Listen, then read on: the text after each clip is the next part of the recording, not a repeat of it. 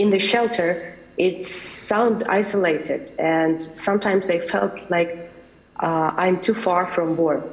None, however, I mean, even though the um, Russians were like uh, seven kilometers from me, I guess, but I still, I was maybe a bit um, ashamed that I'm so far.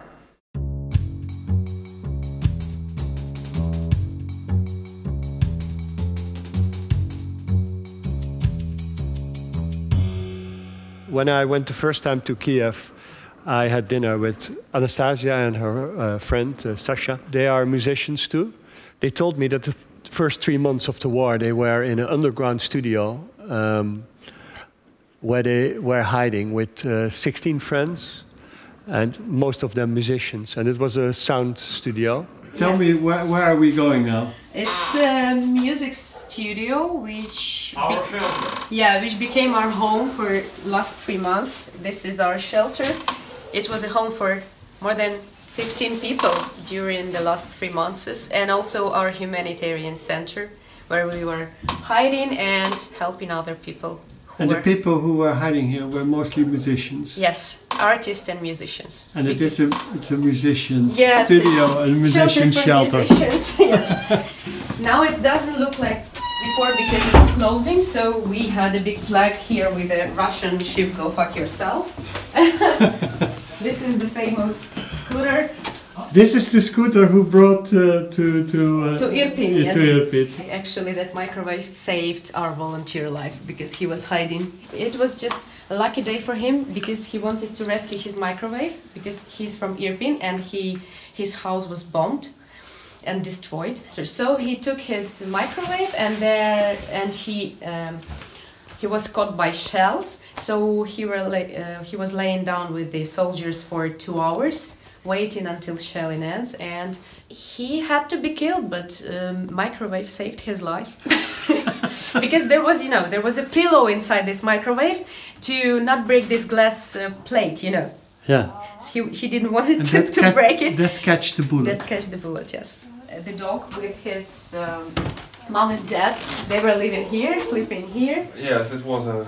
That was Few sleeping another, places, yeah. another room where uh, four or five people with a cat Yeah. uh, were two- two- sleeping three people in, here in- and there Yeah. also. Of course, in uh, February and March it was extremely cold here. It's a pretty sound isolated place.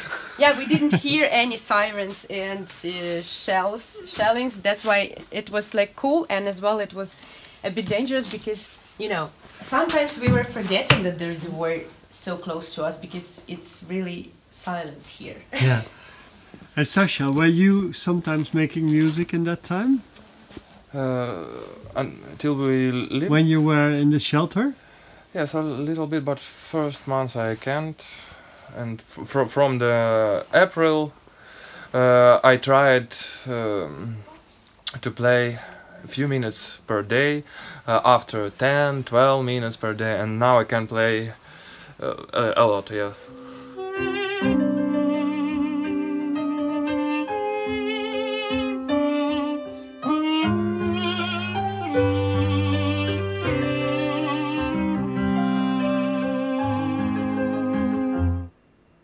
Hello. Hi. Anastasia, how are you doing? I'm doing great. Uh, as you can see, there is a light. Yes.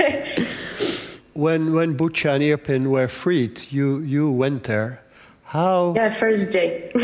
how could you handle that? I don't know. I was really excited to go there because I was um, getting a lot of notes, you know, and cards from people I helped, like thank you notes. And then I had the chance to see them. Of course, not all of them survived, so not all of them I could see. Uh, but yeah, I was excited to go there. It, I was not scared. Maybe it's because I'm crazy, or maybe it's because I got used to it because I'm I'm into this since 2014. The very first day I heard that Irpin is free, I, I told everyone that I'm going.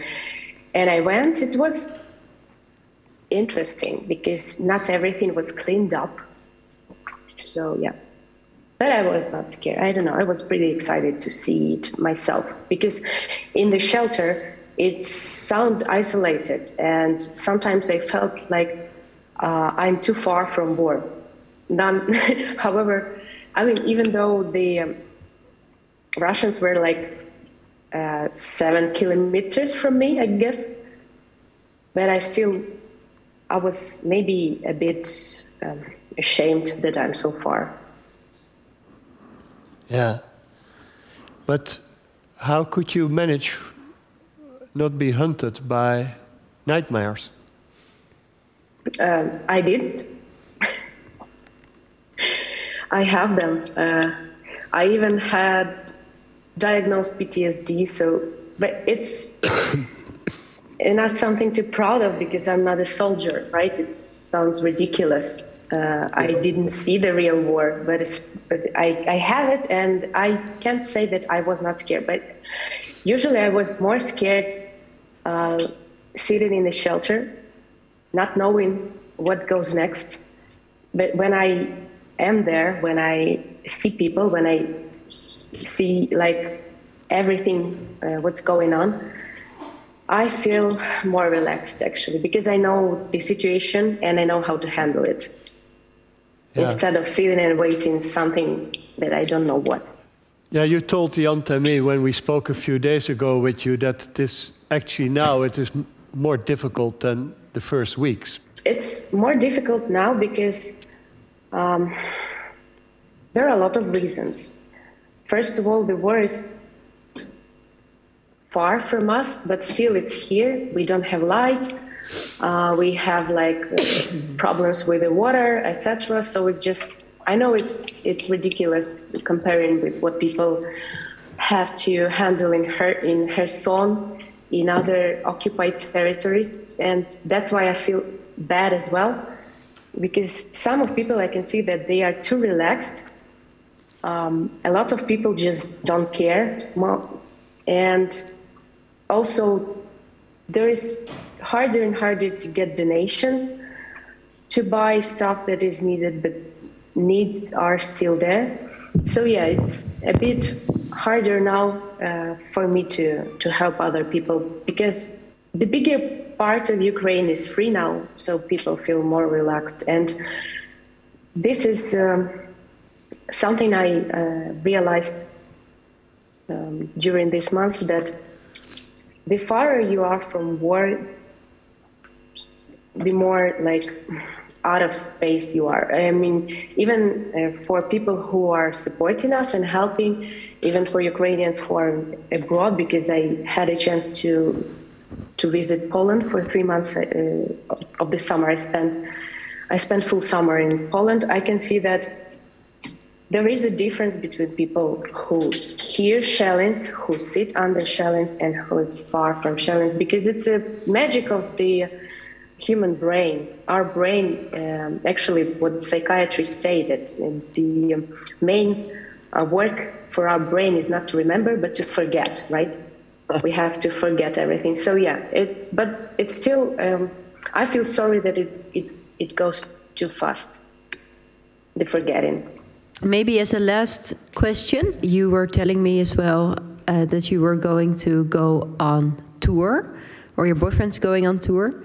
So you are going to travel a bit. But if you look at the broader future, how, what do you think? My boyfriend is on tour already, and I think I'll join him uh, somewhere abroad because um, we are sitting here without any like resources for living, uh, no job, no like future for now for us, unfortunately. So I think we will try to go somewhere else and to earn some money because um, since uh, I'm not very good in like um, collecting donations, I have to earn a lot and uh, buy everything by myself.